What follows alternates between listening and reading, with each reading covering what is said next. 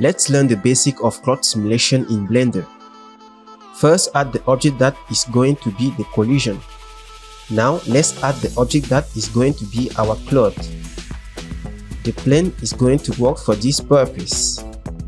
Now let's go to edit mode and let's subdivide our object.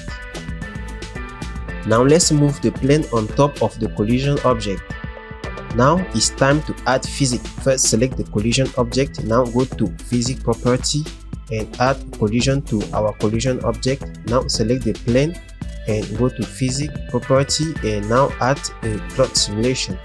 Now on cloth property, let's go down to collision and make sure that self collision is checked. Now let's play the simulation. Now let's add a subdivision surface and also solidify for thickness. And that's it guys.